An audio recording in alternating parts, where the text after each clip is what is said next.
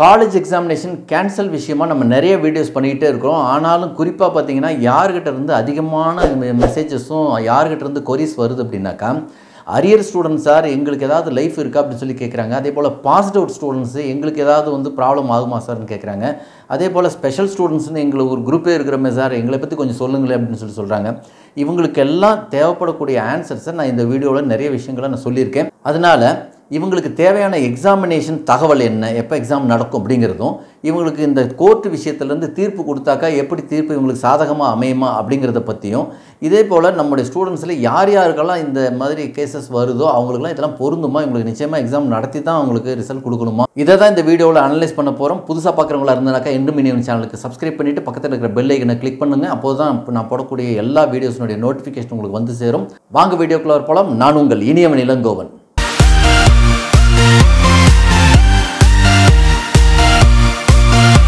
முதல்ல நம்ம வந்து அரியர் ஸ்டூடெண்ட்டை பற்றி பார்த்துடலாம் ஸோ இன்ஜினியரிங் காலேஜ் ஸ்டூடெண்ட்டோ அல்லது ஆர்ட்ஸ் அண்ட் சயின்ஸோ அல்லது நீங்கள் எதுவாக இருந்தாலும் சரி முக்கியமான ஒரு பிரச்சனை அரியர்ஸ் வச்சுருக்கிறது தான். ஸோ நிறைய அரியர்ஸ் வச்சுருக்கிறவங்கிறவங்க ஒரு பெரிய குரூப்பே இருப்பீங்க. சில பேர் பார்த்தீங்கன்னா ஒன் ஆர் டூ அரியர்ஸ் மட்டும் இருக்கும். எங்களுக்கு ஏதாவது ஈஸியாக வந்து பாஸ் பண்ணுறதுக்கு வழி இருக்கா சார்னு கேட்பீங்க உங்களுக்காகவே ஒரு முக்கியமான தகவல் ஒடிசாவினுடைய கவர்மெண்ட் ஃபஸ்ட்டு டிக்ளேர் பண்ணாங்க. அவங்க என்ன சொன்னாங்கனாக்கா நாங்கள் வந்து ஆல் பாஸ் போட போகிறோம் ஃபைனல் ஸ்டூடெண்ட்ஸ்க்கு எக்ஸாம் இல்லாமல் பாஸ் போட போகிறோம் அதுவும் குறிப்பாக பார்த்தீங்கன்னாக்கா ஒன் ஆர் டூ அரியர்ஸ் இருக்கிறவங்களுக்கு அவங்களுக்கும் பாஸ் போட்டலாம் அப்படின்னு சொல்லிட்டு முடிவெடுத்து அவங்க அனௌன்ஸ் பண்ணியிருந்தாங்க. ஆனால் அதுக்கு பின்னாடி தான் அந்த கேஸினுடைய வேகம் போன உடனே அவங்க தானாக வந்து அதை பண்ணிக்க வேண்டியதாக போயிடுச்சு. ஸோ இப்போ என்ன பிரச்சனை அப்படின்னாக்கா அரியர்ஸுங்கிறது ஒன் ஆர் டூ இருந்தாக்கா ஏன் பாஸ் பண்ணக்கூடாது? ஈஸியாக அவங்க பாஸ் பண்ணி ஜாபுக்கு போயிடுவாங்களே அவங்க பிரச்சனையை வந்து மேற்கொண்டு படிக்கணும் அல்லது ஜாபுக்கு போகணும். ஸோ அதனால் அதை தடுக்கக்கூடிய இந்த ஒன் ஆர் டூ அரியர்ஸை கிளியர் பண்ணி கொடுக்குற இந்த ப்ராப்ளமும் இல்லையே அப்படின்னு சொல்லிட்டு அந்த கவர்மெண்ட் வந்து அப்படி டிக்ளேர் பண்ணாங்க.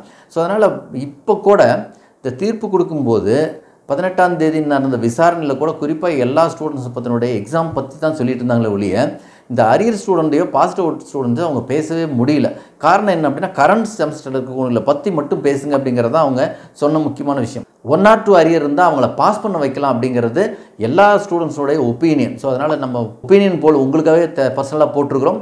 ஸோ அதனால் அரியர் ஸ்டூடெண்ட்ஸ்க்கு வந்து ஒன் ஆர் ஸ்டூ அரியர் இருந்தாக்கா பாஸ் பண்ண வைக்கலாமா அப்படிங்கிறத நீங்கள் எஸ் ஆர் நோ அப்படிங்கிறத ஒப்பீனியன் போலில் நீங்கள் அவசியமாக சொல்லுங்கள் ஸோ அடுத்ததாக பாஸ்ட் அவுட் ஸ்டூடெண்ட்ஸ் இதே பிரச்சனை தான் அரியர் எப்படி இருக்கோ அதே போல் தான் பாஸ்ட் அவுட் ஸ்டூடெண்ட்ஸ்க்கு வந்து லாங் பீரியட் போகக்கூடாதுன்னு சொன்னாங்க. இந்த லாங் பீரியட் போனதுனால தான் வந்து அந்த பேட்ச் ஸ்டூடெண்ட்ஸ்க்கு மூணு வருஷம் டைம் கொடுத்தாங்க. ஆனால் மூணு வருஷத்தையும் தாண்டி மறுபடியும் ரெண்டு எக்ஸாமினேஷன் நடத்துனாங்க ஒன் இயர் மறுபடியும் திரும்ப வா வாய்ப்பு கேட்ட உடனே தான் ஒரு தடவை நடந்துருச்சு.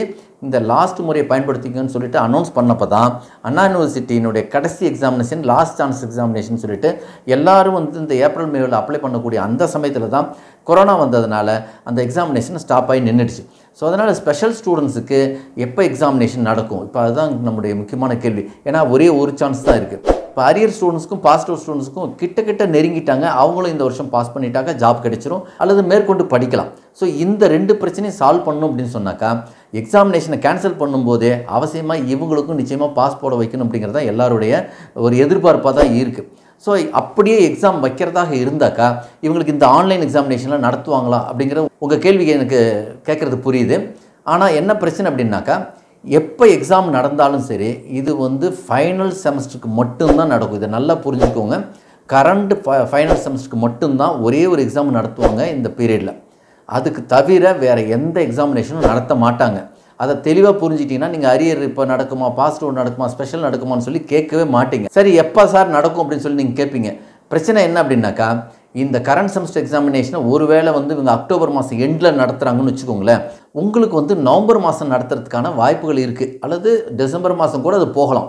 ஸோ அதனால் பாசிட்டிவ் ஸ்டூடெண்ட்ஸுக்கும் அதே போல் அரியர் ஸ்டூடெண்ட்ஸுக்கும் அதே போல் ஸ்பெஷல் ஸ்டூடெண்ட்ஸுக்கும் தனியாக தனிப்பட்ட முறையில் எக்ஸாமினேஷன் வைக்கிறதாக பாசிபிலிட்டி இருந்ததுன்னா அது நவம்பர் மாதம் எண்டில் தான் பாசிபிலிட்டி இருக்குது நோ அதர் வே ஸோ அதனால் முன்னாடி நடக்கிறதுக்கான பாசிபிலிட்டி இல்லை. அதனால் நீங்கள் படிக்கலாம் படிச்சுட்டு இருக்கலாம். ஆனால் எக்ஸாமினேஷன் தள்ளி போகும் அப்படிங்கிறத நல்லா புரிஞ்சுக்கோங்க. ஸோ அதனால் எல்லா ஸ்டூடெண்ட்ஸுக்கும் நான் வந்து நிறைய பேர் கேட்டவங்களுக்கு மெசேஜஸ் என்னால் அனுப்ப முடியல.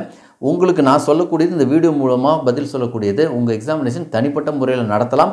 அல்லது இன்னொரு வாய்ப்பு என்ன அப்படின்னா காலேஜஸ் ஓப்பன் பண்ண உடனே நாங்கள் அடுத்த எக்ஸாமினேஷன் நடத்த போகிறோம் அப்படிங்கிறத அவங்க சொல்லியிருக்காங்க இல்லையா?